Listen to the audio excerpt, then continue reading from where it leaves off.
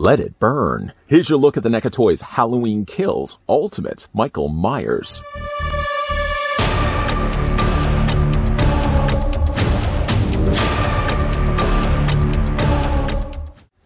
The Strode women join a group of other survivors of Michael's first rampage who decide to take matters into their own hands, forming a vigilante mob that sets out to hunt Michael down once and for all. Evil dies tonight.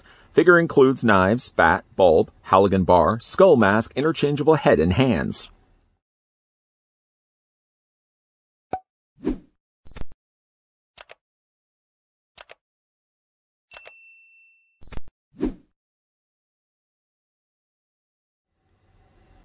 It may no longer be Halloween, but that's not to say that we still can't have a few treats from NECA Toys. Before we get a closer look at the Halloween Kills Michael Myers, let's first figure out how tall the figure stands. I'm going to take my ruler, put it right to the very top of his head. The figure stands at around seven and three quarters of an inch tall, or 19 and a half centimeters tall. Then we can compare the Halloween Kills Michael Myers with the originally released 2018 figure from NECA Toys. You may notice this already, that they have improved upon the body. Michael isn't as full as he was with the 2018 release. A lot leaner and meaner the way he should be. And we can also bring in Laurie Strode as well, if I can provide I can actually reach that far. Yeah, Laurie Strode seems still pretty short. She only goes to about the shoulder area on the 2018 release, and she goes about to the same shoulder area on the Halloween Kills version of Michael Myers as well. Let's now run through the accessories that come included with the figure, but we're not going to run as fast as Michael seemed to run back in the 78 flashback scene, darting in and out of rooms and down alleyways. I didn't realize Michael could move so fast. Anyways, though, looking at the accessories that come included with the figure, starting first with a pair of knives, though not identical to one another. Perhaps these were owned by Little John and Big John. I have a knife. I too have a knife. I'm glad they don't do that all the time with the things that they own. But the knives are not identical. You can see that one blade has been used, and it looks like it's been used maybe more than once. The blood is dried, and then Michael has proceeded to use it again. He's very efficient with the weapons that he chooses, and the handles, of course, as you can see, are different from one another. A slightly more bigger black handle down below, and a more kind of off brownish beige color for this knife. And like I said, he does come into include with two of those. I hope at some point we are going to be getting ourselves a Big John and Little John two-pack NECA toys. Please make that happen. Anyways, though, the figure comes also included with a fluorescent bulb. One of the more brutal murders killings in the movie was when he just strolled into the woman's kitchen. Instead of pulling for a knife, he decided to reach down and grab a fluorescent bulb and then proceeded to bludgeon her with it. By the way that it's wet like this, I would imagine it's still it hasn't dried yet. Michael's just decided to use it. He hasn't yet dropped it onto the floor, shattering it. It even has the little prongs on the end that would fit then into the socket to illuminate the bulb. I can tell you from first-hand experience, if you ever are changing these, don't ever line the finger up to see if you can guide your way into putting this in, because you're going to electrocute yourself. Yeah, I did do that. Stupid, stupid me. But at least he comes included with the light bulb prior to him dropping and smashing onto the floor. The figure also comes included with a baseball bat. The baseball bat generally looks pretty clean, although there's little notches and scratches all in it, so it looks like it's an old baseball bat. I hope at some point as well we're going to be getting more than just Michael Myers and a Laurie Strode. Maybe down the road we'll get ourselves a Tommy Doyle, and he can just continue to make bad choices throughout the course of the movie. He comes included with the baseball bat. That's a nice little touch. And the figure also comes included with the Halligan bar which is basically like a multi-purpose pry bar that firefighters use. It has different tools, so you can see like it has a spike on the end, a little pry bar on the other side, and then it does sort of have like a little section, I guess, to remove nails or bolts in order for them to gain entryway into a building that's on fire. Um, on this case, in this case, you can see like there's blood only on the one side. Dealing with all those firefighters who apparently were firefighters that they used in the movie. I don't know why relevant wise it needed to be real firefighters for exactly what happened to them, but at least he includes the Halligan bar. And of course that can fit into the figure's hands as well. Now we could kind of move on to the other things. Well, I guess we could talk a little bit about the hands for a second. Let's just do that right now.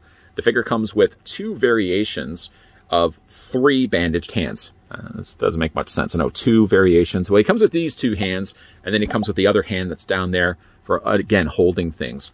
Uh, surprisingly enough, he doesn't come with another hand for this side of his body. He only comes with just the one.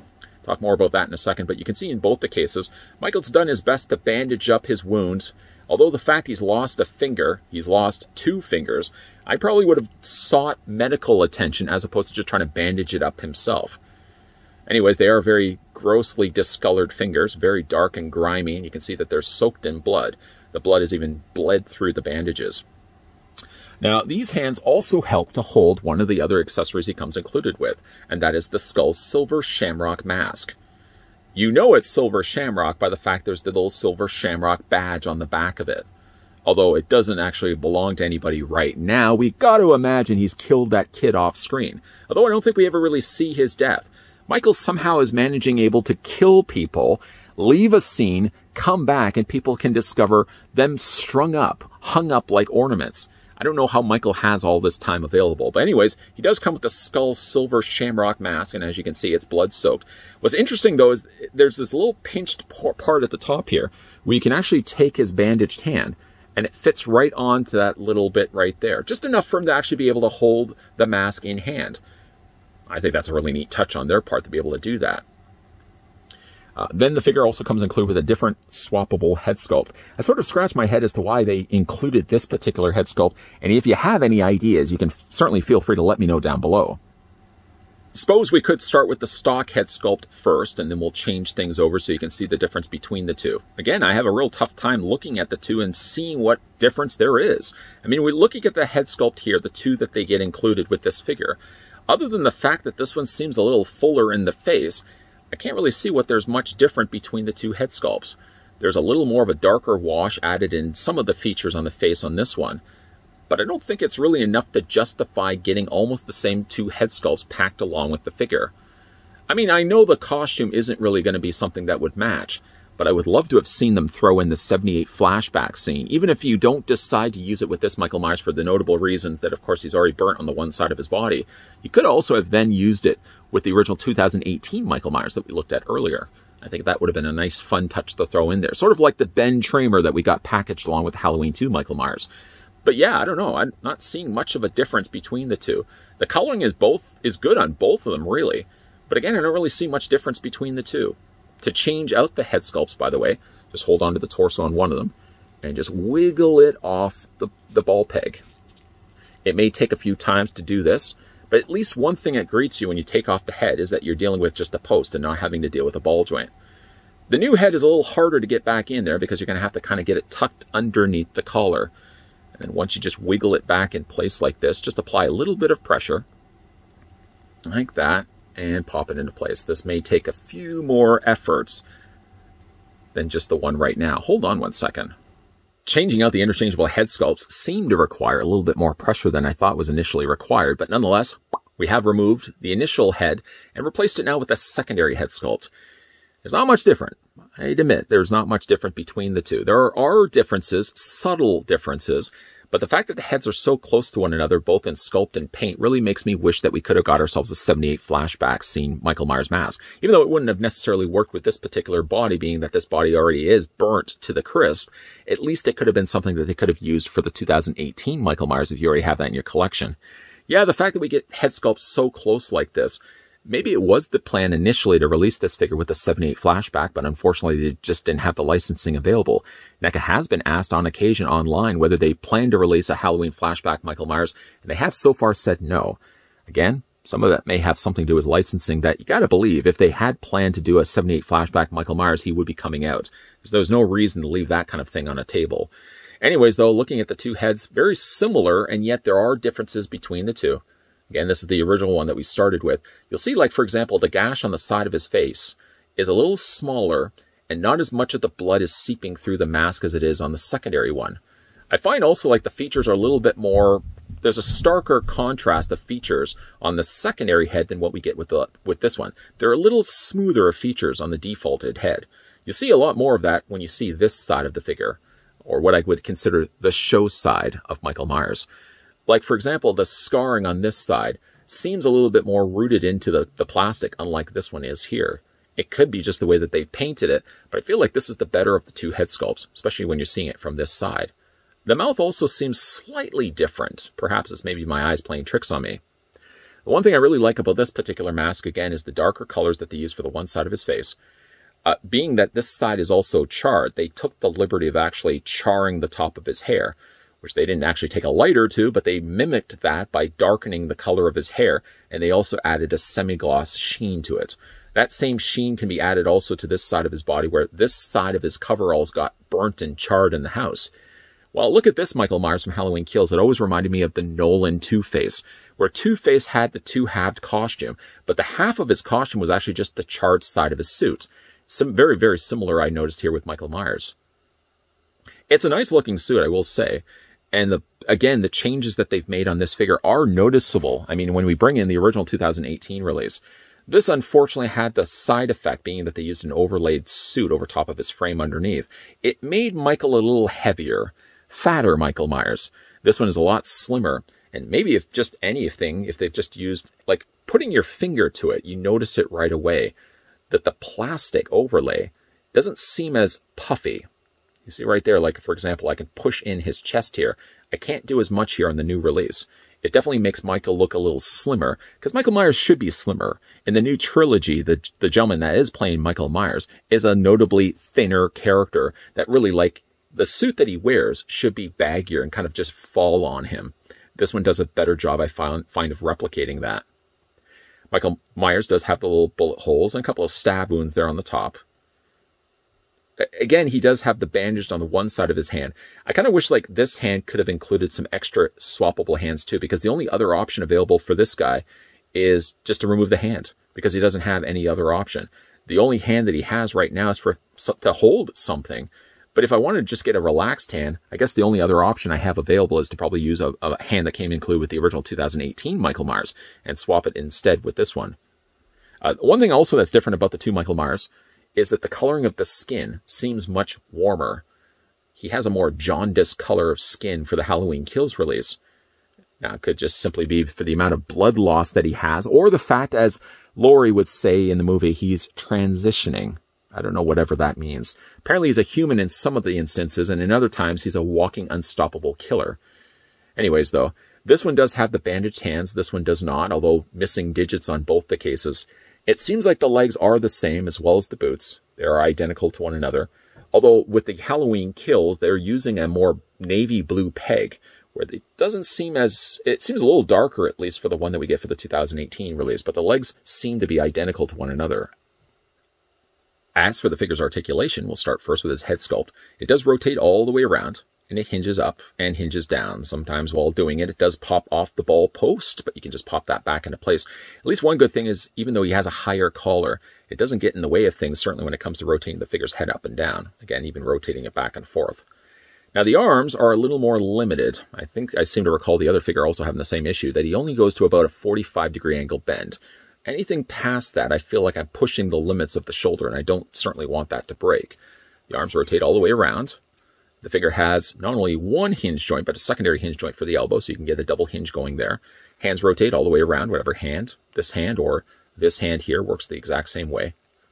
And then even though like he does have an overlay plastic over top of his frame underneath, I mean, you can kind of feel there's something working behind the scenes, but nothing really stays in place.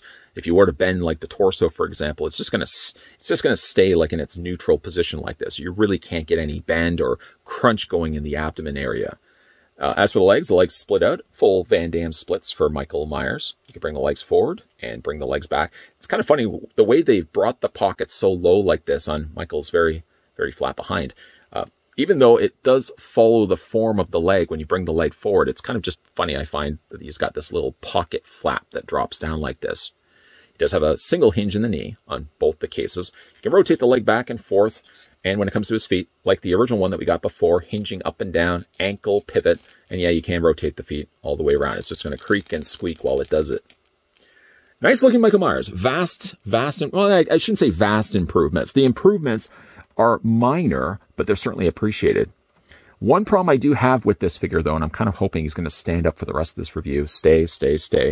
I'm going to bring in the original Michael Myers, is that I find like the Halloween Kills version has a little more of a difficult time standing, which sort of is strange to me because like the makeup of the bodies should be the same. I never really had any issues with the 2018 Michael Myers standing, and yet the Halloween kills, for some reason or another, the ankle joints, I find, cause the figure to fall backwards. It's not happening right now. I'm hoping it's not going to happen for the rest of this review, but I did notice having this guy standing sometimes, he's more prone to falling over, more prone to falling over than the one that we got from the 2018 release. I'll admit I may not love Halloween Kills nor the direction that the new trilogy is taking with Laurie Strode and Michael Myers not being connected by blood.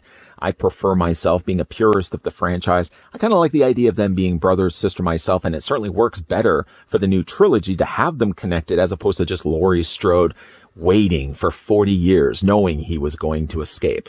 There's plot holes galore, certainly between the two movies that we've gotten so far. Ha- hopefully with Halloween ends, it will end things on a high note. But I know certainly for the time being, Halloween Kills the Ultimate Michael Myers actually does better than the movie itself, giving us what I feel to be a much better Michael Myers, not only than the 2018 release, but also comparing it to the Halloween 2 Michael Myers that we got before. This could be the best Michael Myers that we've gotten so far.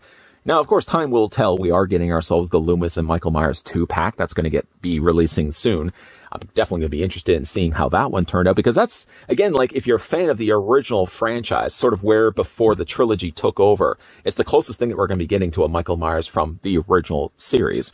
Again, this figure, wish that he could have come included with the flashback scene, Michael Myers mask. I think a lot of fans that picked up this figure for themselves probably wished the same thing. But you got to believe that if NECA again had the opportunity and had the, the licensing available to include the flashback scene Michael Myers mask, or even one better, release an ultimate flashback 78 Michael Myers, you know they would have. There's probably something in the way of things preventing them from doing it. It's not to say that they're not still going to be able to release one down the road. And that may be one also one of the reasons why this figure comes with two somewhat similar looking head sculpts. There are differences between the two, and I prefer the secondary head sculpt more than the original one. This one has a lot of accessories, a lot of kill specific accessories. I'm not really sure what I'm going to display him with. I'm kind of like, kind of leaning towards the, the fluorescent bulb myself, but I do like the fact that they also included the skull silver shamrock mask. A lot of good stuff, like I said, going on with Halloween Kills Michael Myers. If you're a fan of Michael Myers, this is one I would definitely recommend over the 2018. If you haven't picked up the 2018, this is the better of the two figures to go with in my own personal opinion. What do you guys think of this figure, the Halloween Kills Ultimate Michael Myers? Weigh in. Let me know your thoughts down below in the comments section.